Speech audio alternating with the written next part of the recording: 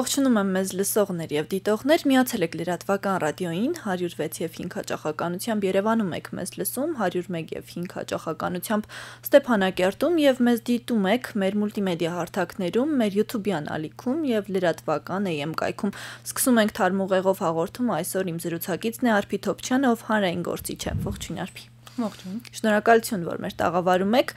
քանի որ մենք շատ կարևոր օր ենք արդեն անցել մայիսի 9-ը, որը մշտապես հայազգի համար տոն եւ չգիտեմ ուրախության օրեր, հաղթանակի օրեր։ Երևի հենց այդտեղից էլ սկսենք, գլորեցինք այս օրը, չգիտես թե ոնց, եւ շատ դժվար էր այդ օր ինչ որ խոսք ասել, մարդկանց ինչ ասել, մենք այլևս շուշին չունենք ազատագրված տարածքներից, ոչինչ գրեթե չի մնացել եւ Արցախը շրջափակման մեջ է իրականում դուք ո՞նց եք կարծում այսօրը ինչի մասին պիտի խոսել եւ ինչ խոսք ասել հանրությանը 2020 թվականից հետո երբ մենք վերջնական փոշիացրինք 92-94 թվականների Արցախյան առաջին պատերազմում տարած մեր հաղթանակը այսօրը կարծում եմ պիտի լինի առավել եւս ինչպես մնացած օրերը բայց այս օրը առավել եւս պիտի լինի վերագնահատման եւ վերաքննման օր հասկանալու համար, թե որտեղ էին, որտեղ մենք ցախողվեցինք, որ մեր տարած փարահեղ հաղթանակը ի վերջո վերածվեց այսպիսի խայտարակ պարտության։ Դերևս ճակերտավոր ռազմական պարտության, ինչու եմ ասում ճակերտավոր, որովհետև այնպես չի, որ ռազմի դաշտում մենք գուցե եւ որոշ չափով զիջել ենք, բայց ցավոք սրտի ճշնամուն առանց մի կրակոցի շատ ավելի տարածք ենք զիջել, քան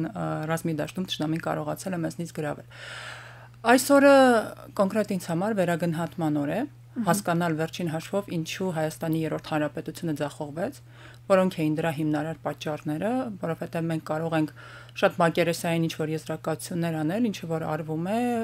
ու դրանով բավարարվել։ Բայց եթե մենք ուզում ենք այսօրվա պարտությունը նորից վերածենք վաղվա հաղթանակի, իսկ ես վստահ եմ, որ մեր հաղթանակները դեռևս արժևում են,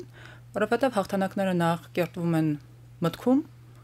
այնուհետև դրանք դառնում են ֆիզիկական իրականություն։ Հետևաբար 3 իմ համար, ինձ համար եւ կարծում եմ իմ ընկերների համար ու շատ շատերի համար այդ օրը վերագնահատման օր էր։ Արփի իսկ մեր մեր խնդիրների պատճառը հիմնականում որոնք էին։ Եվ դուք ասում եք, որ պիտի նախ եւ առաջ հաղթանակները մտքում ձևավորվեն, նոր դրանք հողի վրա տեսանելի դառնան արդյոք մարդիկ մտքում ինչ որ չափով ունեն այդ գաղափարները, որոնք իրականություն կարողանան դառնալ եւ հիմնականում շատ քիչ տոկոս ունի մարդկանց։ Նաեւ այդ քիչ տոկոսի մասին խոսենք, այդ քիչ տոկոսը կկարողանա թելադրող լինել։ Մեր հիմնական զախողման պատճառը դա մեր կամահրական վերաբերմունքն էր դեպի հայոց պետականությունը մենք չկարողացանք կամ չուզեցին գնահատել դրա նշանակությունը, մենք չկարողացանք կամ չուզեցին գնահատել այդ հաղթանակի նշանակությունը, այն մեզ համար դարձավ զուտ ընդհանրապես կենացի սեղանին ասված ինչ որ բաժակաճար կամ ինչ որ դատարկ խոսքեր, որին չհետևեց գործ։ Ինչ վերաբերում է նորանոր հաղթանակներին եւ փոքրամասնությանը, Փարքաստո մեր հանրության մեջ գուցե այո փոքրամասնությունը, բայց կա այդ շերտը, որը հավատում է վաղվա հաղթանակին եւ որը փորձում եք հայլեր ձեռնարկել այդ հաղթանակը կայացնելու ուղղությամբ, որքան էլ որ հասկանում ենք դրա բարդությունը, կհաջողենք թե ոչ, դա կախված է արդեն կազմակերպման աստիճանից որովհետև ես ունեմ խորին համոզմունք, որ բոլոր հանրությունները, աշխարհի երեսին ցանկացած հանրություն, այն է, ինչը որ իր որակյալ փոքրամասնությունը կարողանում է նրան տալ այդ ձևը կամ ուղղորդել։ Եթե այդ փոքրամասնությունը, որ ունի պետական մտածողություն, որ ունի ազգային ստրատեգիայի տեսլական չի կարողանում մեծամասնությանը տանել իր հետևից, հետեւաբար ինքը պիտի քննադատության ենթարկի իր քայլերը եւ հասկանա թե որտեղ է ձախողման պատճառը։ Չնայած մեզ վերջին տարիներին հատկապես վերջին 3 տարվա ընթացքում հայությանը եւ հայ հանրությանը ուղղված բազմաթիվ մեղադրանքներին, ինքնանվաստացման փորձերին, ինքնախարազանման փորձերին, ես կարծում եմ, որ այնուամենայնիվ մեր հանրությունը մնացած հանրություններից ոչինչով վատը չի, գուցե ինչ որտեղ նաև հաշվի առնելով, որ այս ամենին կարողանում է դեռևս դիմանալ, ինչ որտեղ նաև պաշտպանական մեխանիզմներով ավելի լավն է։ Խնդիրն է արդեն այդ փոքրամասնության խնդիրն է հասկանալ, թե որտեղ ենք ձախողել եւ ինչու հանրությունը ի վերջո իր մեծամասնության մեջ կամ իր հավաքականության մեջ չհասկացավ մեր հաղթանակների արժեքը եւ տեղ չկանգնեց այդ հաղթանակներին։ Դուք ասացիք, որ մենք ցախողեցինք երրորդ հանրապետությունը եւ կարծիքները երկու տեսակետի են, որ այլևս չկա երրորդ հանրապետություն եւ այն շարունակում է ծանր վիճակում, վիրավորված վիճակում դեռևս գոյություն ունենալ իմ կարծիքով էլ չկա երրորդ հանրապետություն եւ մինչեւ չորրորդ հանրապետության անցնելը, որը հուսանք որ հաղթանակով է սկսվելու, այդ տարածությունը, այդ միջակայքը մեզ համար ինչ ժամանակաշրջան է եւ ինչի համար է։ Մենք հիմա գտնվում ենք գաղափարական վակուումի մեջ, որովհետև ես էլ կարծի համակարծիք եմ, որ երրորդ հանրապետությունը ձախողվել է, որովհետև այդ հանրապետության հիմքում դրված հիմնական պետականաստած գաղափարը դա բիանսման գաղափարն էր, որը պետության գոյության առաջին իսկ տարիներից այո ցավոք սրտի շեղում կատարվեց, լրջագույն շեղում, ինչի արդյունքը տեսանք 2020 թվականին, եւ այսօր մենք գտնվում ենք գաղափարական վակուումի մեջ դա իր մեջ ունի թե մեծ հնարավորություններ, բայց նաև կարող է շատ վտանգավոր լինել եւ ի վերջո այդ գաղափարական վակումը կարող է վերածվել մի պայթունի, որը կոչնչացնի ամեն ինչ։ Մենք անել որ դա տեղի չունի։ Անցումային ժամանակաշրջանում ձևակերպել դուք ասացիք 4-րդ հանրապետություն բազմաթիվ մարդիկ կան, որոնք մի այլ տերմին են օգտագործում խոսում են ազգային պետության մասին իրականում այսօր տարբեր խմորումներ են գնում ես էլ երևի ավելի շատ ազգային պետություն անունը տամ որովհետև դա ավելի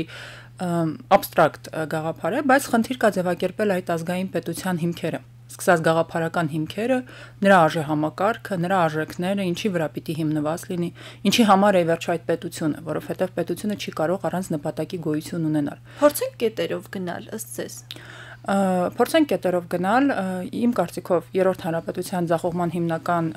պատճառը այն էր որ ի սկզբանե շեղում արեց նրա գաղափարական հիմքերից, որովհետև եթե միացումը կայանար, եթե այդ գաղափարական հենքի վրա առավել եւս Արցախյան առաջին պատերազմում հաղթանակը մենք շարունակեինք եւ վերածեինք քաղաքական հաղթանակի, այսինքն հրճակեինք, որ հայոց պետականությունը ի վերջո վերականգնվել է եւ իր առաջ քաղաքական նպատակ ունի հայ քաղաքական ազգի ձևավորում, չեմ վախենա այդ բառից, որովհետեւ քաղաքական ազգը անընդհատ աշխատանք է պահանջում մենք հաճախ խառնում ենք հանրություն հասկացությունը, ժողովուրդ հասկացությունը, էթնոս հասկացությունը, չհասկանալով, որ իրականության մեջ դրանք կազմակերպման տարբեր փուլեր են, տարբեր աստիճաններ են, եւ պետություն ի վերջո ձևակերպել ձևավորել ընդունակ է քաղաքական ազգը։ 90-ականների սկզբին սկսվեց այդ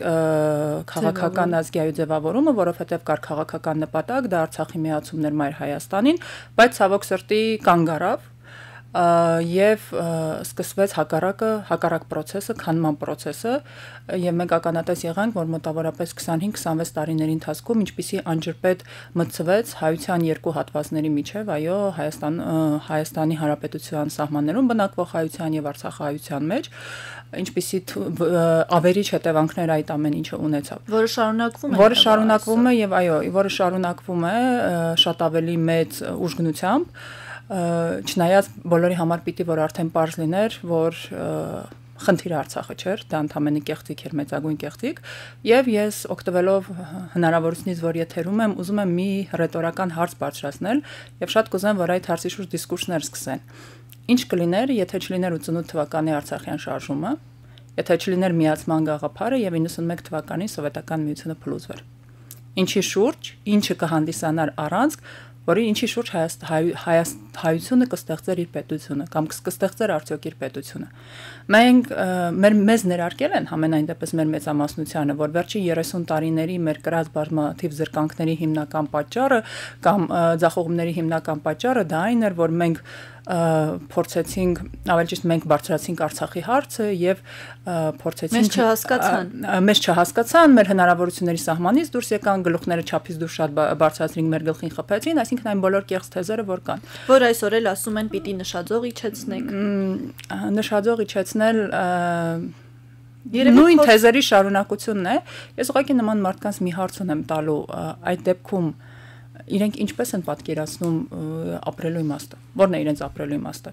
Գեղեցիկ հակնվելը, շքեղ մեքենա քշելը, չգիտեմ, որպեսզի ամեն օր ստամոքսը լիքը լինի։ Դրա համար են իրենք այս աշխարհ եկել։ Եթե իրենք դրա համար են այս աշխարհ եկել, կարծում եմ երկրագնդի վրա կան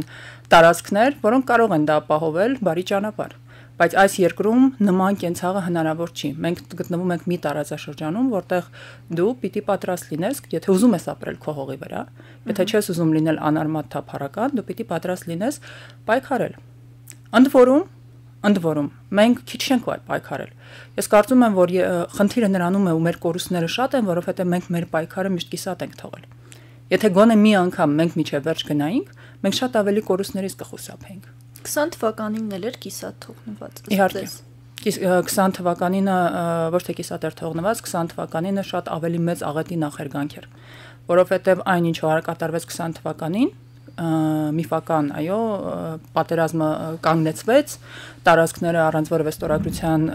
զիջվեցին, որ իբր մեր 25000-անոց զորքը հայտնվել է շրջափակման մեջ, չնայած չնայած բոլորի ցանկացած բանական մարդու համար հասկանալի է, որ եթե Արցախում կար մարտունակ 25000 զորք, իր շրջափակման մասին կարող էր խոսք լինել, դա տրամաբանությունը վիրավորող թեզ է, բայց փաստացի 2-3 տարի հետո մենք տեսանք, որ այն տարածքները, որոնք զիջվեցին, այո, փաստացի այսօր Արցախահայությունը ավելի քան 100.000 մարդ գտնվում է պատանդի կարգավիճակում եւ ամեն վարքյան բնաջնջման տարածքներից են արդեն մեզ թիրախավորում։ Այո, ավելին նույն քարվաճառ այսօր վերահացվել պլազդարմի եւ որը սպառնում է ոչ միայն Արցախին, որը սպառնում է նույն նույն Հայաստանի Հանրապետության տարածքին եւս, որը մեր տգետ կամ կարճամիտ քաղաքական դաշտի մեծամասնության ներկայացուցիչների համար սրբազան կովի այսպիսի գին ունի, ես կարող եմ հասկանալ թե ինչու, որովհետև հողում անելով ինչ որ միֆական միջազգային իրավունքի վրա, ինչու միֆական, որովհետև մենք ապրում ենք մեծ փոփոխությունների ժամանակաշրջանում, երբ խախտվում են աշխարհակարգի կանոնները եւ նոր կանոններ պիտի գրվեն, որpիսիք դեռևս པարզ չեն։ Եվ այդպիսի երկրաշարժի պայմաններում նույնն է թե նստես տանը եւ ասես, որ ոչ մի բան էլ չի լինի, որովհետև ինձ երաշխավորել են, որ սա չգիտեմ 4 կամ 5 բալի կդիմանա, երբ որ 12 բալանից երկրաշարժի մասին է խոսքը։ Ուղղակի նման հղում անուն անելը հնարավորություն է տալիս պատասխանատվությունից պատասխանատվությունը իրենց վրայից հանել, որևէ քայլ չձեռնարկել եւ այդ արատավոր, այդ կորսանարար սովորությունը մեր մեջ, որ մեր փոխարեն ուրիշները խնդիրները կլուծեն, ոչինչ պետք չի անել, արդարացնել։ Արցախի դեպքում նման մոտեցումը չէր կարող լինել, որովհետեւ Արցախի գոյությունը դա ամենօրյա պայքար էր եւ հետեւաբար ամենահեշտ ձևը դեռևս 90-ականների սկզբին Հայաստանի այն ժամանակվա քաղաքական ղեկավարությունը գտավ Արցախից հրաժարվելու այո, ձևի մեջ դերևս քանի որ վառ էր Արցախյան շարժման ազդեցությունը եւ կային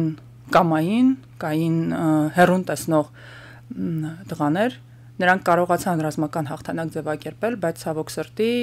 նրանց մեծ մասը մնաց ռազմի դաշտում կամ չեզոքացվեցին եւ Հայաստանի Հանրապետության ղեկը հայտնվեց այն մարդկանց ձեռքերում, որոնք 94 թվականից հետո ուղակի կամ անուղակիորեն ամեն ինչ արեցին մեր հաղթանակը փոշիացնելու եւ մեր հաղթանակից հրաժարվելու համար։ Ձեր հրապարակումներից էի ընթերցում եւ մի մեջբերում անեմ, դուք ասում եք, որ հանրային եւ քաղաքական դաշտում չկա ինստիտուտ կամ անհատ, որ վարկաբեկված չլինի եւ պայքարի համար հանդիսանա այսպես ասած առանցք իրականում այս հարցը շատ մտահոգող է որ չկա այնպիսի անհատ իրականում անգամ այն մարդիկ որոնք արժանի չէին վարկաբեկվելու բայց վարկաբեկվել են սա ինչից է առաջացել այս այս իրավիճակը եւ կարող ենք մենք ասել որ առանց անհատների հնարավոր կլինի պայքար տանել Իրավիճակը առաջացել է նրանից, որ մեր մոտ քաղաքական դաշտը, հանրային քաղաքական դաշտը վարկաբեկված է, Եվ եթե նույնիսկ կան մարդիկ, ովքեր ազնիվ են իրենց ձգտումներով, բայց չունեն համապատասխան քաղաքական գիտելիքը, քաղաքական գործընթացների տրամաբանությունը չեն հասկանում, հասկացել, հասկանում եւ գործիք են դառնում սրիկաների ձեռքերում։ Այն որ մեր քաղաքական դաշտի մեծամասնությունը այս կամ այն ուժային կենտրոնի շահերի սպասարկուն է, ընդ որում այդ սպասարկու լինելու կարգավիճակում Հայաստանի շահերը ամենավերջին տեղում են եւ մի ձևով փորձում են այս կամ այն չափով իբր խցկել իրենց ուժային կենտրոնի տրամաբանության մեջ այդ պատճառով մենք ունենք այն ինչ ունենք, որովհետև եթե շուրջներս նայենք, իրոք որևէ մեկը չկա հեղինակություն ունեցող մարդիկ, որոնց շուրջ մարդիկ կհավաքվեն։ Առանց անհատների հնարավոր չէ, որովհետև պատմության վճռական ժամանակներում, նույնիսկ ամենազարգացած երկրներում վճռական անհատներն են բեկել պատմության ընթացքը։ Նույնիսկ եթե անդրադառնանք 20-րդ դարի պատմությանը, բոլորը շատ լավ գիտեն, որ բրիտանական կայսրությունը երևի ամենակայացած ինստիտուտներ ունեցող երկիրն էր։ Բայց նույն իրենք բրիտանացիները չեն ոչ մի ձևով չեն նվազեցնում, ավելին անընդհատ ընդգծում են Ուինստոն Չերչիլի վճռական դերը երկրորդ համաշխարհային պատերազմում Գերմանիայի դեմ, երբ որ Գերմանիան Լոնդոնի ռմբակոծությունները, այո, փորձեր անում Անգլիան ոչնչացնելու Չերչիլի վճռական դերը։ Այսինքն այդ անհատները պիտի հայտնվեն, ես այսպես եմ կարծում։ Այնպես ինչպես բոլոր ժամանակներում մարդիկ հանրային դաշտում բացահայտ դերևս չկան, բայց կարծում եմ խմորումներ գնում են ես կարծում եմ, որ պատմությունը ունի իր օրինաչափությունները եւ ունի իր տրամաբանությունը։ Եթե լի պատմական անալոգիաներին նայենք, չլիներ ֆրանսիական հեղափոխությունը, չէր լինի Նապոլեոն Բոնապարտը։ Այսինքն պատմությունը հավաքվում է մի իրավիճակում, հա, ստեղծում է մի իրավիճակ, որտեղ կամ կամ է կամ հայտնվում են համապատասխան մարդիկ, ովքեր ձևակերպում են երխնդիրը եւ հանրությանը տանում են իրենց հետևից, հետեւաբար նոր մակարդակ են անցնում, կամ եթե չեն հայտնվում, ուրեմն այդ հանրությունը, այդ ազգը սպառված է, հետեւաբար եկել է պատմության թատրամբեմից հեռանալու իր ժամանակը։ Որքան էլ որ դաժան լինի, բայց եթե հիվանդը չի ուզում ապրել բժիշկն անզոր է։ Եվ հակառակը մենք պիտի երկկողմ աշխատանք լինի։ Երկկողմ աշխատանք լինի։ Ես կարծում եմ մեր հանրությունը բավականին հոգնած է, բավականին հիասթափված է ու հուսախապված է, որովհետև ըստ էության վերջին 30 տարիների ընթացքում հանրության անընդհատ հավատացրել են, որ իր ընտրությունը սխալ է ինքը փորձել է պայքարի, ինքը փորձել է ընտրություն անի եւ հետո ցույց են տվել, որ տեսար դու այս քայլը արեցիր եւ դա ավելի վատ իրավիճակ ստեղծեց։ Վերջին 2018 թվականն է լավ պետության, բայց արդյունքում եղավ այն ինչ եղավ։ Այո, 2018 թվականներ ու ամենամեծ հանցանքներից մեկը այս իշխանությունների մեր հանրության արչեւ դա հենց այդ ողջավորության ալիքը այդպիսի հուսախապության վերածելն է եւ այդպիսի գործիք դալն է տալն է որ մարդիկ այսօր ապակողմնորոշված եւ վախեցած են որևէ քայլ անել որովհետեւ արդեն իրենք չեն պատկերացնում իրենց քայլերի հետևանքները բայց չհասկանալով որ անգործությունը միևնույն միևնույն է տանելու է կործանման բավականին բարդ իրավիճակ է ստեղծվել բայց ճգնազամային իրավիճակները իրենց մեջ պարունակում են նաեւ մեծ հնարավորություններ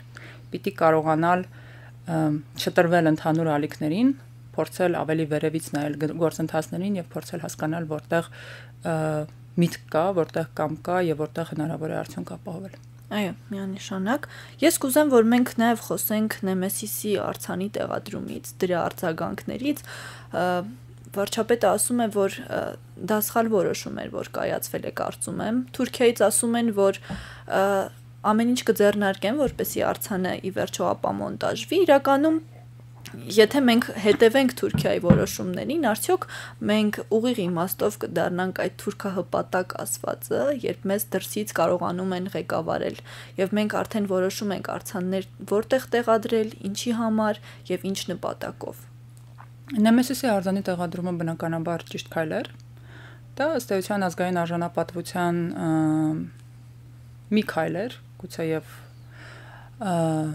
բոլոր նրանք ովքեր պնդում են, որ արձանի տեղադրումը փչացնում է հայ-թուրքական հարաբերությունները, կներեք կամ տգետ են, կամ գործակալ են, կամ ընդհանրապես սпасարկում են թուրքական եւ այլ ուժային կենտրոնների շահերը, որովհետեւ քաղաքականության մեջ ես միշտ ասել եմ եւ պնդելու եմ, որոշիչ է միայն կամքը, կա Ինչ վերաբերում է բոլոր նրանց, ովքեր հայ-թուրքական համարում են, որ հնարավոր է հայ-թուրքական հարաբերությունների ճակերտավոր նորմալացում, ինչու ճակերտավոր, որովհետև Թուրքիան շատ լավ գիտի, թե ինչ է նշանակում այդ նորմալացումը, հայերը որոշում են հերթական անգամ իրենց դնել հիմարի տեղ։ Ուզում եմ հիշեցնել, որ այսօր Թուրքիայում ընթանում են տրապայքար,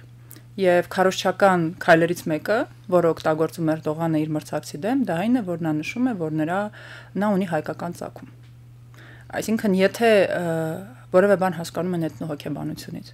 որևէ բան հասկանում են ընդհանրապես պատմությունից, պատմական բեռից, պատմական հիշողությունից, մարդիկ պիտի հասկանան, որ քանի կա այդ թեկուս մի հայ կամ կա հայկական պետությունը նույնիսկ իր ամենախղճուկ կարգավիճակով, դա Թուրքիայի համար մեծագույն սպառնալիք է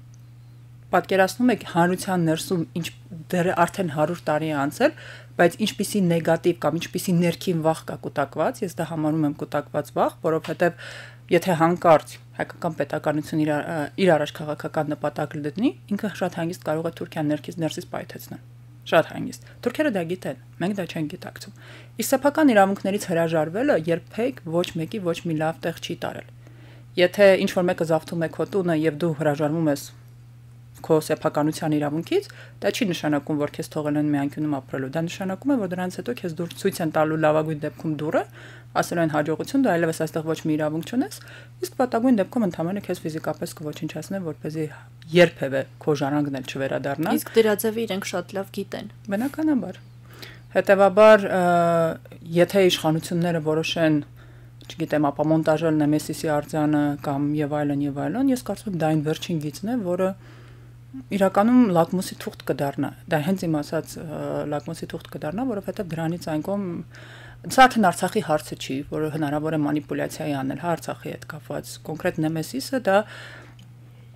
ցեղասպանության նվիրված կամ ցեղասպանության ասեմ կազմակերպիչների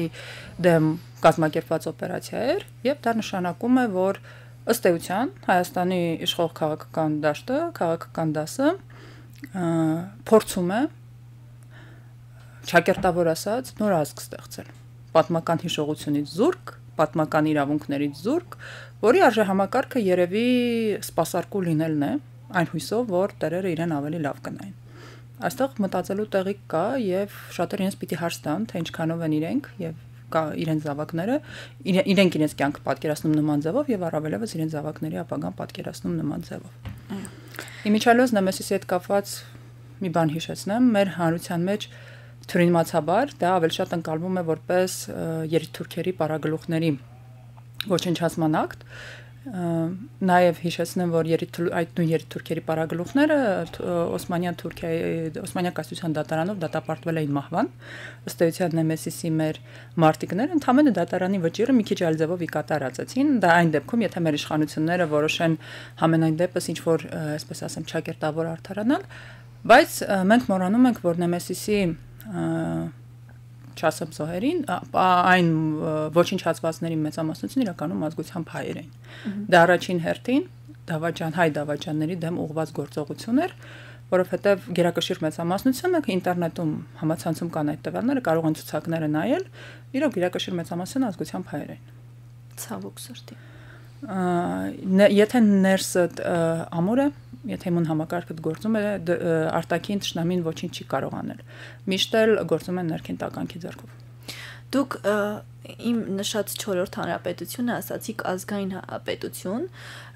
եւ ձեր վերջին հոդվածի հետ փորձեմ կապել եթե չեմ սխալվում հոդվածը կոչվում էր ամեն ինչ հայկական պետականությանը այս հոդվածը բավականին քննադատությունների արժանացավ հենց ազգայնականության վրա հիմքերը դնելու համար կարծում եմ դուք չարձագանքեցիք սրան, եթե ես չեմ սխալվում։ Ես կուզեմ անդրադառնանք, ինչու են մարդիկ ազգայնականության եւ ազգայինի հանդեպ այսքան չարությամբ լցված եւ ինչն է պատճառը, որ ձեր հոդված այսքան քննադատության առիթ դարձավ։ Ասեմ ինչու չարձագանքեցի, որովհետև հոդվածի նախաբանում ես կոնկրետ նշել էի, թե այս հոդվածը ում համար է այնտեղ հստակ նշված էր, թե սա ում կարող է հետաքրքրել, իսկ դրանից դուրս արձագանքելը եւ անիմաստ կամ անարդյունք բանավեճերի մեջ մտնելը իմաստ չեմ տեսնում, դա ավելորտ էներգիայի եւ ժամանակի կորուստ է։ Երկրորդը ինչու է քննադատության արժանանում։ Ես կարծում եմ դա մեր մտածողության, թյուր մտածողության հետ է կապված, ինչու ազգայնականությունը ազգայինը, որովհետև մենք համարում ենք, որ մեր վատ ապրելու կամ այսօրվա այս ծանր վիճակի պատճառը մեր պատմական անցյալն է, մեր պատմական հիշողությունն է, այո, իսկ ազգայնականությունը դա այն է, ինչ որ առաջին հերթին կապված է դրա հետ։ Այսինքն, եթե մենք պատմականորեն ընտրել ենք այս կամ այն этаպում ընտրել ենք պայքարի ճանապարհը եւ ինչի արդյունքում դեռևս կանք չմոռանանք որ նույնիսկ իշխող ուժի որոշ մի ներկայացուցիչներից մեկը սլակներ ուղեց անգամ սարդարապատի կազմակերպիչների դեմ Այո, դա համարում են երևի որ պետք էր որ 100 կամ մի քանի 100 տարի առաջ մեր նախնիները հրաժարվեին իրենց ինքնությունից եւ այսօր կլինեին, չգիտեմ, ինչ որ կայսրության կամ մեծ մեծ պետության մեջ անդեմ միզանգված եւ հանգիստ կապրեին։ Ես կարծում եմ ազգայնականության դեմ ճշնամանք սրա հետ է կապված։ Ազգայնականությունը ենթադրում է դու ունես որոշակի նպատակ, քաղաքական նպատակ, եթե դու ունես նպատակ, դու այդ նպատակի համար պիտի ջան գործադրես։ Իսկ ազգայնականության հակառակ կողմում ովքեր են կանգնած ըստ ձեզ եւ ինչ նպատակ են հետապնդում? Հայաստանում ազգայնականության դեմ մարդիկ են ովքեր համարում են որ մենք շատ փոքր ենք ընդհանրապես պետք չի որևէ ջանք գործադրել պետք է բավարարվել նրանով ինչ որ կա եւ հետ հանգիստ շարունակել ապրել ու ինչի իրենք չեն ընդունում կամ ինչու են իրենք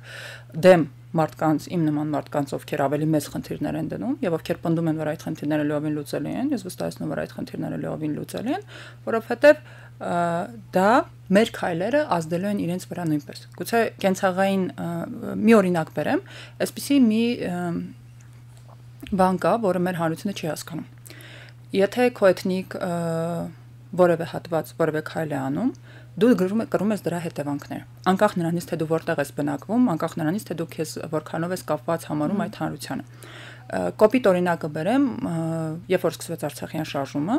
Բաքվում բնակվող մեր հայրենակիցները կամ Ադրբեջանի խորհրդային պետության այլ տարածքներում բնակվող մեր հայրենակիցները, գուցե նրանցից շատերը ընդհանրապես Արցախյան այսպես ասեմ Արցախը Հայաստանին միանալու հետ համամիջ չէին կամ այդ հարցը իրենց հետաքրքիր չէր կամ անգամ հայության հետ իրենց կապը արդեն շատ թույլ էր այնքան որ ընդամենը ցակումով միևնույնն է նրանք կրեցին իրենց վրա այդ հետևանքները այդ քայլի հետևանքները եւ շարունակում են կրել նույն ձևով եթե Հայաստանը որևէ քայլ է անում այսօր կամ վաղը արտերկրում բնակվող ցանկացած հայ, ասենք Ռուսաստանում բնակվող հայ, եթե հայկական պետությունը որևէ քայլ է անում, որը ռուսական պետությունը ընկալում է որպես հակառուսական, ինքը ազդեցության գործիքակազմ ունի Ռուսաստանում բնակվող հայերի վրա ազդելու համար ու քանի որ մարդիկ, իմ նման մարդիկ, ովքեր բարձրացնում են հայկական պետության քաղաքական նպատակի հարցից, քաղաքական նպատակը նշանակում է, որ դու հակամարտության մեջ ես մտնում, քեզ հա, քո հարևանների հետ հակամարտությունը չի նշանակում պատերազմ, հակամարտությունը նշանակում է, որ դու կռիվ ես տալիս քո գոյության իրավունքի համար։ Այսինքն ես էլ եմ ուզում լինել կենսունակ պետություն, ես էլ եմ ուզում ունենալ ռեսուրսներ, ես էլ եմ ուզում ապահովել իմ բնակության անվտանգությունը, իմ մշակութային ինքնատիպությունը, այն բոլոր խնդիրները լուծել, ինչ որ լուծում են պետությունները, ցանկացած պետություն